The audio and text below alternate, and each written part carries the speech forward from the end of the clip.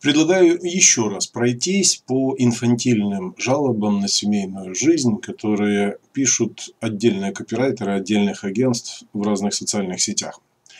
Правдивые истории, такой каналчик на Яндекс.Дзене, пишет статью, ну прям тинейджерская формулировка. «Как ты убила мою любовь?» Представляете, сразу представляется сынок, обиженный на всю Ивановскую, да, который сам-то ничего он не делает, а все вокруг во всем виноваты. Давайте почитаем, как он жалуется на жизнь. Здравствуйте, дорогие друзья! Сегодня я хочу рассказать о своем первом неудачном семейном опыте. Ну, то есть он с самого первого э, предложения говорит, что он неудачник. Молодец. Сначала было все ничего, но, как говорится, чем дальше в лес, тем больше дров. Так вот, моя бывшая убила во мне все чувства к ней четырьмя способами. И это тело стало описывать как в глянцевых журналах, четыре способа. Как можно убить любовь? Это очень коварная вещь – недоверие. В то время я работал в крупной компании инженером. Она мне звонила чуть ли не каждый час, а то бывало и два раза. Типа узнать, как я, с кем я, где я. Плюс ко всему этому, пока я принимаю ванну вечером, помните, ванну, чашечка кофе, мой телефон подвергался максимальной проверке. Если там оказывался новый телефон, подписанный женским именем, то начинался, мягко сказать, пипец кто такая, зачем ты ее сохранил и так далее.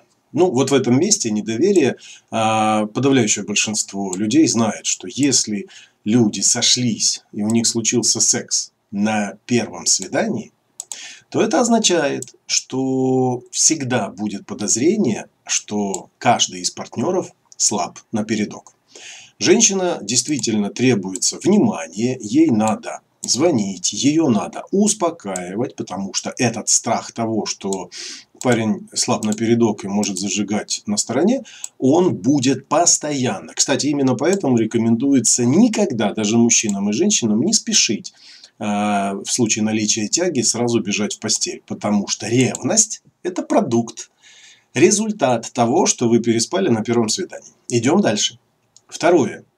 Без этого вообще никуда. Ревность. После того, как прошла наша свадьба, у нее вообще сорвало крышу. Задержался на работе, был у любовницы. Постоял в пробке, был у любовницы тоже. У меня вообще такого в мыслях нет ходить налево. Вот попробуй докажи такому человеку. Ну, попробуй докажи.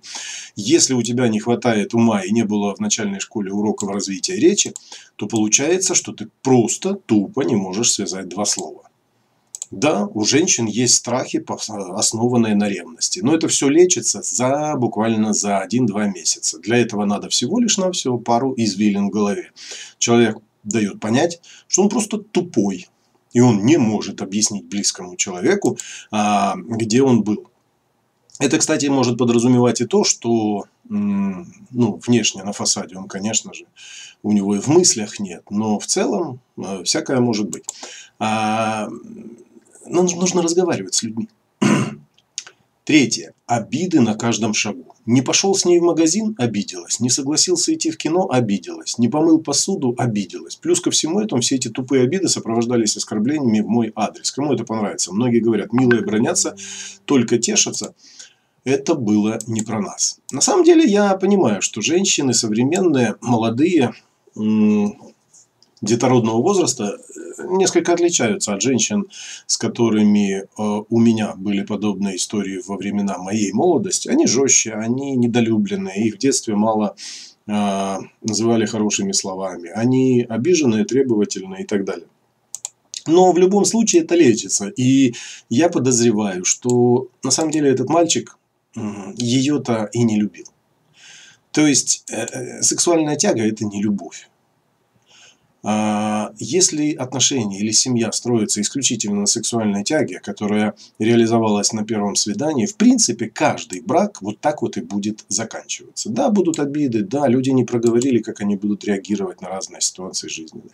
Они друг друга оскорбляют, что в принципе немыслимо в нормальной паре, где люди друг друга любят, а не используют.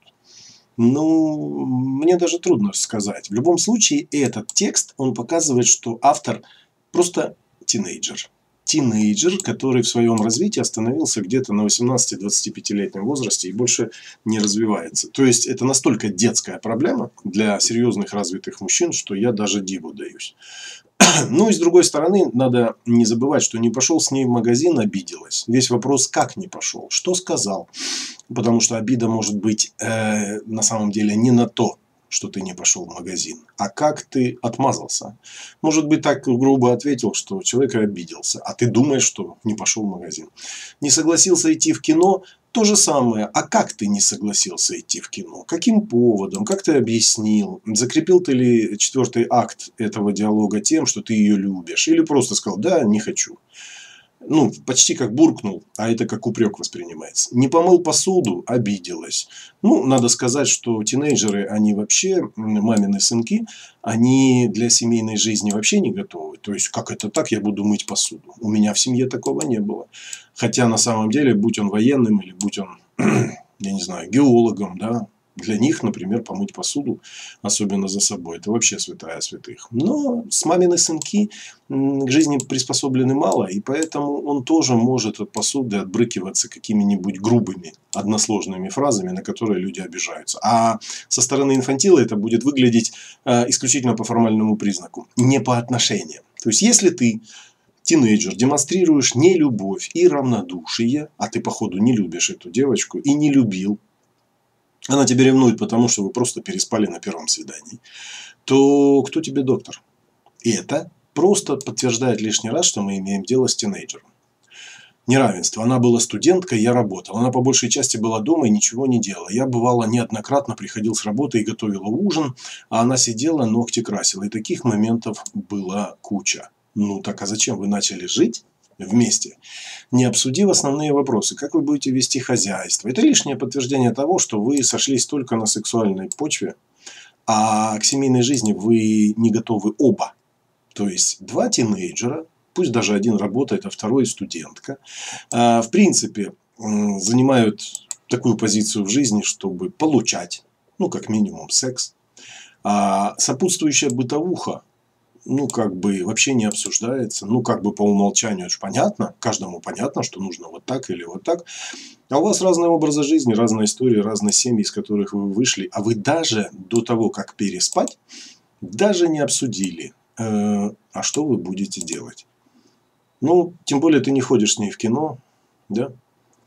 Э, не ходишь в магазин, вы не обсуждаете совместные дела. Конечно, у вас совершенно разная жизнь, два туловища, которые переспали. Рано или поздно вы просто были обречены на то, чтобы разойтись. И, в принципе, ничего удивительного в этом я не вижу. Вот именно все вышеперечислено убило мою любовь. Ну, нужно сказать, что любви-то у тебя и не было. Был секс. В один прекрасный день у меня в голове сложился пазл, и я сказал, дорогая, пойдем в ЗАГС и подадим на развод. Мое терпение закончилось. Лучше жить одному, чем так с тобой. Ну да.